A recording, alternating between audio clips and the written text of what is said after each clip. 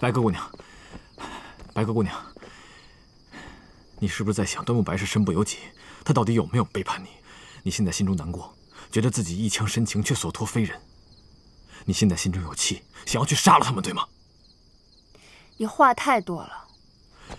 端木白在你面前吻其他女子，你心中就没有一点妒忌、愤怒、不甘心？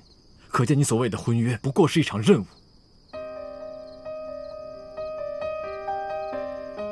你根本就不喜欢端木白。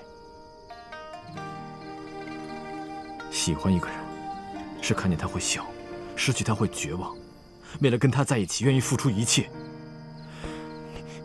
是心会跟着他不停的跳动，忽快忽慢。就算你现在心是坚冰，我也有信心给他雾化了，让他跟我一样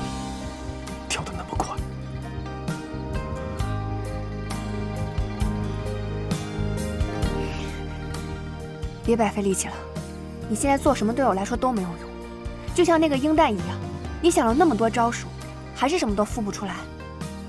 老大，老大，生了生了，三弟把他生出来了。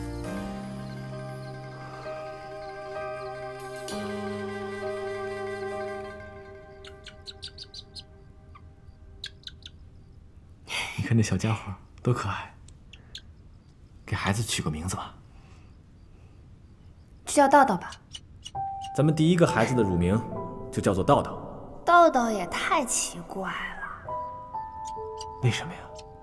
不知道，突然想到的。好，你以后就叫道道了。老大跟大嫂看起来就像道道的父母。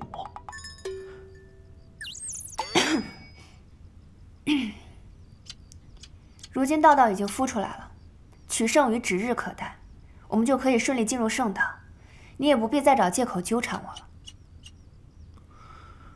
不如我们再赌一次，明日申时，城郊树林，我们再见一面。如果那个时候你对我还是一点感觉都没有的话，我绝不再纠缠你。好，我就再给你一个死心的机会。